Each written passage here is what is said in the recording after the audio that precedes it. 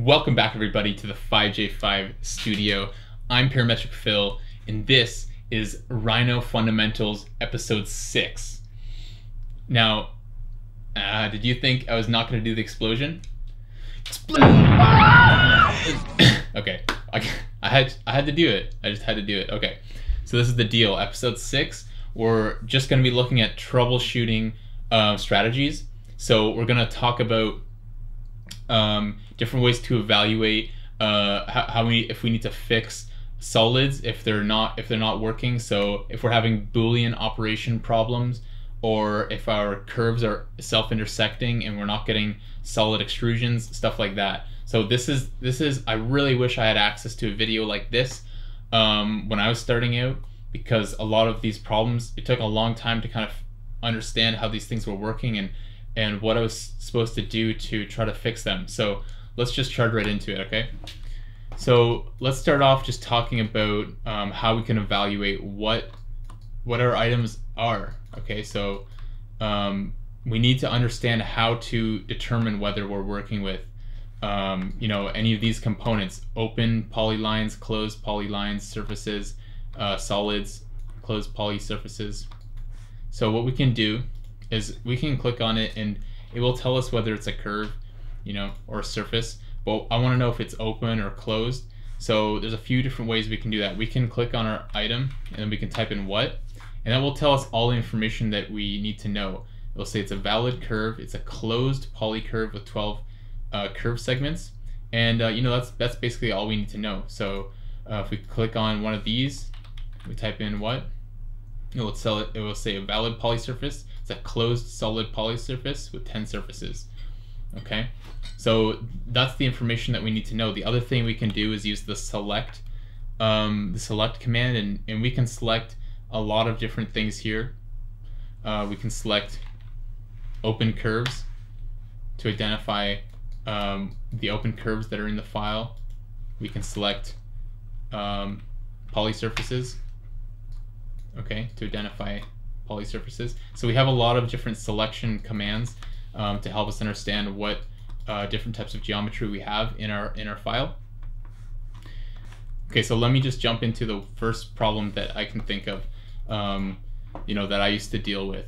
Um, I don't know how to simulate this. I can't remember how it happens uh, in you know in the real world, but oftentimes we'll end up with uh, a curve like like this, and it looks fine. It looks like a simple rectangle, um, but we but if we try to uh, extrude it, we're gonna get this error.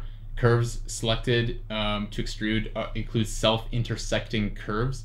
Okay, so what we can do to help diagnose this problem is we can go to uh, show ends.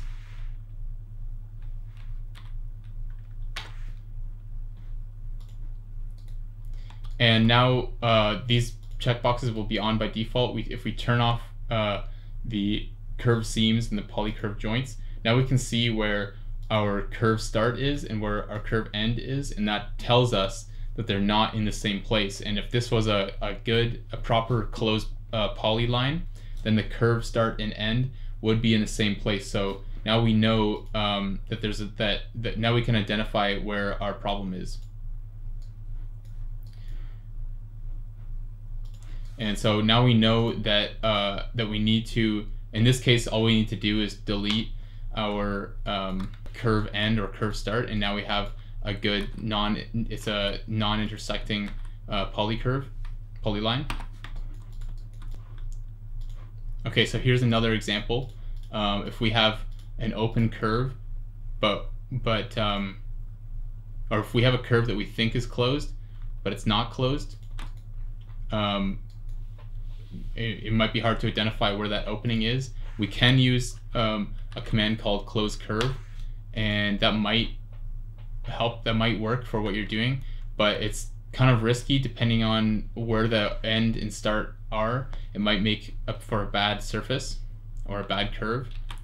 So um, it's probably a good idea just to identify where um, where you have that opening so you can again use the show ends command and then you can see where that gap is.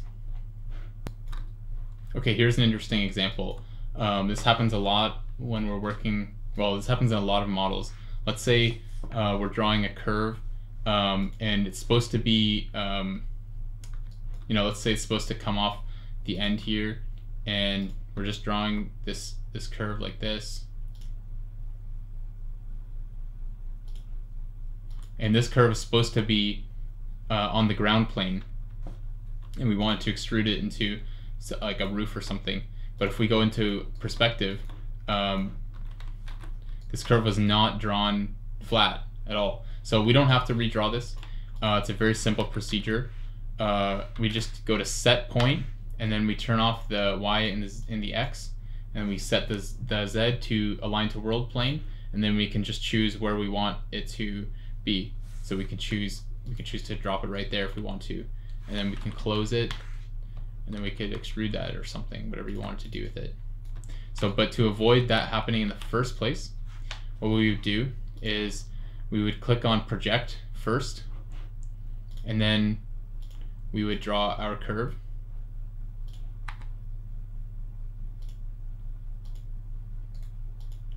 and now it's on the now it's been projected onto the ground plane so project just uh, project will depending on what which viewport you're in it will project all points and anything you're drawing or or or uh, generating, it will project project it onto the ground plane. So here's just a little thing. Um, um, don't confuse this project with the project command. If we want to project this curve onto this surface, here's something I just want you to be aware of. Um, let's do project and select our surface and uh, our direction is in Z and loose is no, and I'm going to bring up that in a second. Okay, so now we have this curve, and look at how many points it has. Uh, so since loose was turned off, if this curve is trying to follow this surface really tightly, and we can we can generate a valid surface. That's fine. So, um, but the point is, um, I just want to warn you that when it has this many points, uh, or this many points is, is, is probably going to be fine, but sometimes you might run into problems if you have if your curve is too complex and has too many points. If you're say trying to loft between uh, certain curves and and uh, you have very complex curves that might turn into a problem. Um, if try just try it out, and if but if it doesn't work, that might be a cause for a problem. And generally speaking, uh, the less points, the better. Uh, it's just a general rule of thumb, but it's not always true. So you can rebuild this curve if you want to. Um, and now, but just the curve will not follow the surface perfectly, so you can't use it to trim the surface or anything. So I'm just saying uh, this is not uh, something you should always do, but generally speaking, try to keep your curve as simple as possible. But the other thing you could do instead of rebuilding it is that when you go to project it, you can turn loose on and then it will it will maintain only the number of original control points. So um, it, you, you can see that it, it, all it did was realign uh, the original control points to try to fit the surface as close as possible. So again, this is not fitting the surface um, very precisely at all. But if you're just trying to get the general shape, then this is the best method to use. You should use the loose project um, because it maintains a very simple curve and it'll be easier to work with. But if you need it to follow the surface perfectly, then don't use a loose project.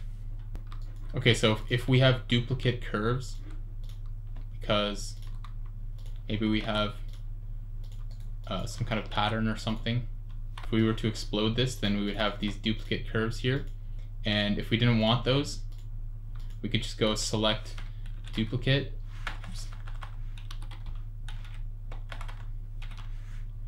uh, select dupe, and we can just um, we can just delete those, and now we don't have any duplicates. So this, if you're familiar with AutoCAD, that would be the same as uh, similar to the auto the uh, overkill command in AutoCAD.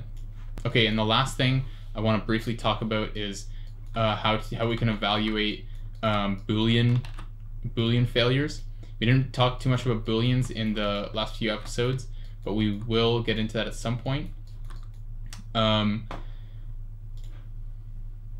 I'm going to try to set up a Boolean a Boolean failure.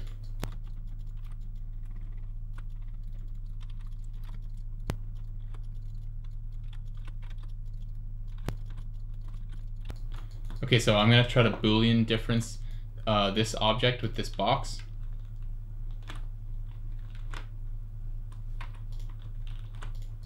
And so we have a failure. Uh, and actually, this is a neat feature. I believe it's new in Rhino 6 where it actually tells me where the failure is. And I can actually start to see here that um, the problem is that my box is actually not a closed poly surface.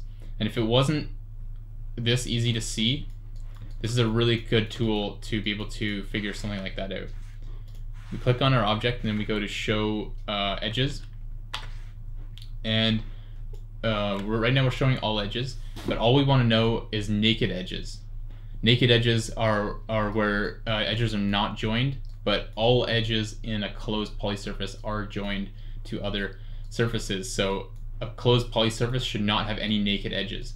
So this is a really good way to identify where you have openings in your in your uh, in your solids in what are supposed to be solids. So it's a really quick way to identify uh, those types of problems. So edge analysis, show edges. So another way uh, that might bring clarity towards why you're having a uh, Boolean failure is you can do an intersection between two solids and then you can just hide those temporarily. And if you take a look at that curve, it should be a closed polycurve. Um, but right now we can see that it's not. It's two open curves. So where that where that intersection failed, that will tell you where the Boolean operation is also failing. So that's just another little trick that you can use to uh, identify any types of Boolean failures. All right, awesome. So I think we covered a few uh, a few troubleshooting techniques, and there will definitely be more of these troubleshooting videos. Um, let me know what kind of problems you're having, and uh, give me the, the, most information possible. And maybe I'll make more videos talking about a few a few other strategies that we can use to to uh, diagnose what kind of problems we're having. Because um, like I said, there will always be problems, but we can develop develop uh, techniques to diagnose them um, more efficiently. So that's what I'm trying to do. All right, uh, I hope you guys learned something, and um, I'll see you guys later.